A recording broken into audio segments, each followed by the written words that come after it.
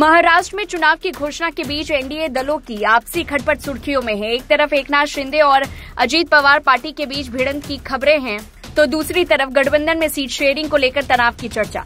इन सब के बीच भारतीय जनता पार्टी अपने किले की चुस्त दुरुस्त कर रही है। जी हाँ बता दें कहा जा रहा है कि एनडीए की खटपट और आपसी टकराहट के बावजूद भारतीय जनता पार्टी सबसे मज़बूत स्थिति में है। हरियाणा की जीत से उत्साहित बीजेपी ने महाराष्ट्र को लेकर भी विनिंग फॉर्मूला खोज लिया। महाराष्ट्र में बीजेपी मध्य प्रदेश मॉडल पर आगे बढ़ रही है। 2023 के मध्य प्रदेश चुनाव में बीजेपी के खिलाफ इसी तरह की एंटी इनकम्बेंसी देखी गई थी। लेकिन पार्टी ने मतदान नज़दीक आते आते ऐसा खेल किया कि कांग्रेस चित हो गई।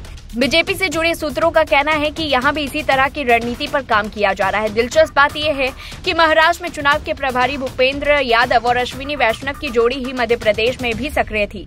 दोनों को पार्टी ने लोकसभा के बाद महाराष्ट्र में भेजा और भूपेंद्र भीतर घात को खत्म करने में माहिर माने जाते हैं। कहा जा रहा है कि बीजेपी के नेता मुंबई और विदर्भ में सबसे ज़्यादा गुटबाजी में लगे हुए थे। भूपेंद्र लगातार इन इलाकों में ही बैठक कर रहे हैं। मध्य प्रदेश में जिस तरह से बीजेपी ने जीत हासिल की थी, उसमें महिलाओं की बड़ी भूमिका मानी गई।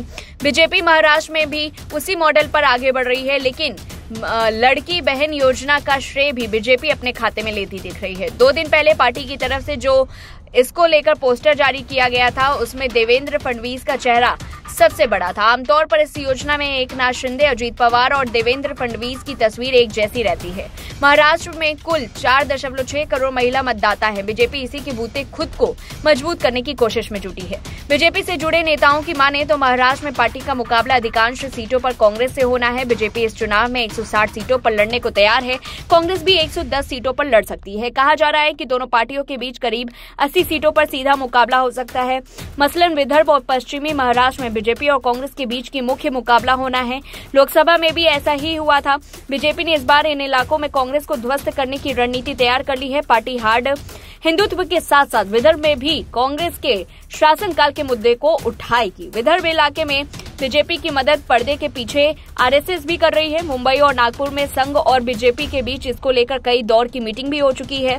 बता दें कि बीजेपी टिकट वितरण में भी सावधानी बरत रही है। पार्टी ने सीट बंटवारे के साथ साथ जिताऊ उम्मीदवारों को भी फाइनल कर लिया है।